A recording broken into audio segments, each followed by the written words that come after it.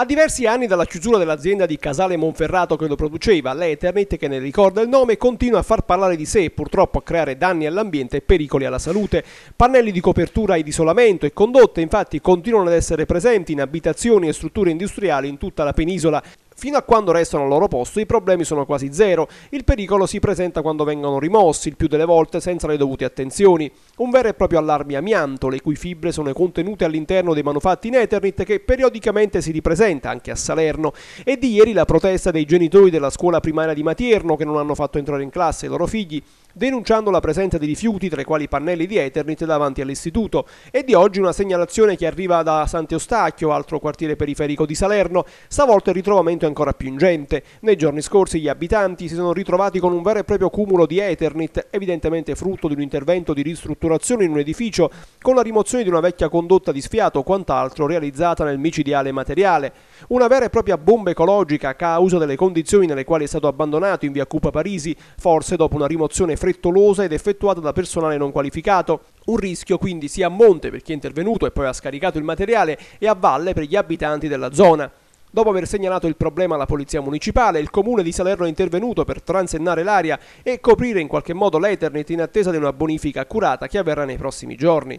Il problema però rimane ed è legato al dilagante fenomeno dell'abbandono incontrollato di rifiuti di ogni genere, anche pericolosi, lungo le strade periferiche di Salerno. Nella stessa zona infatti da tempo si è creata una discarica abusiva con spazzatura e vecchi televisori, a volte anche date alle fiamme con il rilascio nell'ambiente di altre sostanze inquinanti. È stato un intervento ovviamente simbolico perché è stato coperto con del, un telo di plastica in bianchini che non reggerà al primo vento. È, è, un simbolo, è un simbolo peraltro anche di quanto il problema ambientale in questa città sia poco compreso anche dagli amministratori.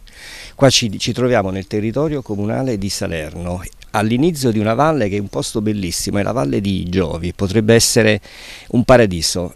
Di fatto le riprese che abbiamo, questo sconcio che abbiamo qua, ci prova che è, può essere anche un inferno ed è prova del fatto fatto che la, quella che è la più grande risorsa di questo paese, l'ambiente e il territorio, eh, non soltanto non viene difesa e valorizzata, ma non viene neanche capita non viene capita dalla gente e non viene capita da chi dovrebbe proteggerlo. Da, da chi la... preoccupa è che comunque è una vera e propria discarica a cielo aperto, insomma.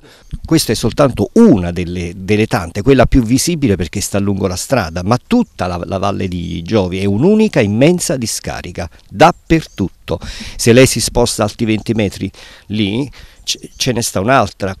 Guardi qui intorno, il degrado di questo territorio, abbandonato a se stesso e sfruttato, violentato quotidianamente in tutti i possibili modi, incendi, pascolo abusivo, discariche di ogni tipo. Eh, ci si fa belli presentando la vetrina buona della città, no? Che bella, almeno in termini relativi la nostra città figura bene nel contesto campano ma ovviamente ci si guarda bene dal, dal mostrare che cosa accade appena un chilometro fuori dal centro. Ecco, quello che accade sta qui sotto gli occhi di tutti e nell'indifferenza di tutti.